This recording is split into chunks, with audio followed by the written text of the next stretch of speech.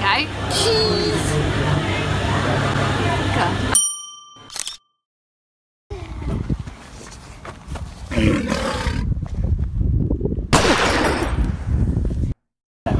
We are at Stonehenge.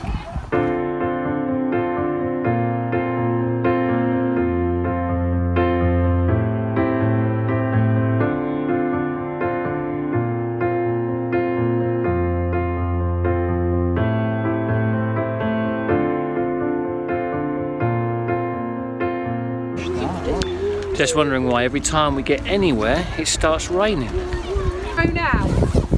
Oh god sage. Okay, Reece, can you tell me where we are? Uh, we're we're um in New York. What? We're in a place with loads of useless stones that nobody knows where.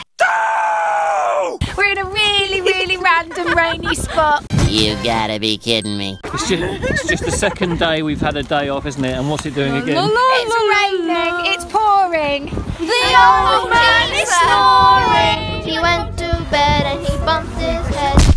Oh, can you?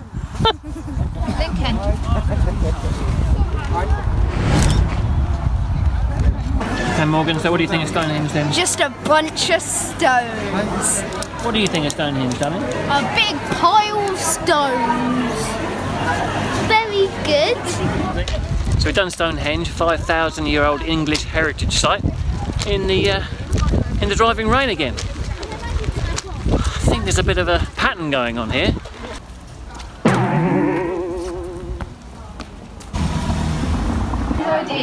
Very cool.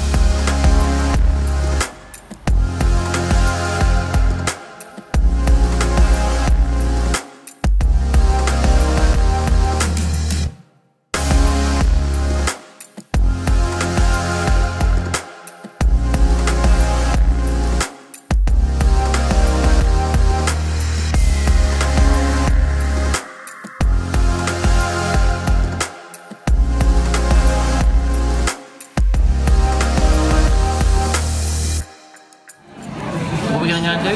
to go and do? Some steps. What is 274 steps?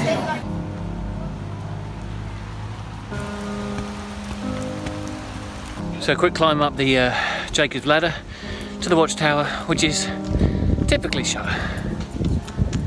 Never rains, but it pours.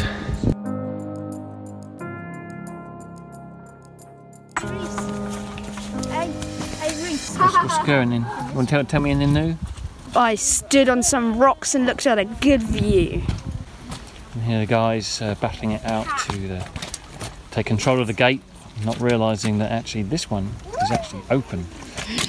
The best bit about your weekend so far? Uh, I have no idea. It's all brilliant. I think one of my favourite parts is walking in the rain and going through the cave and looking at some boring stones and touching water that could be acid. Yeah, and watching Reese try and make a fire with flint with just some stones.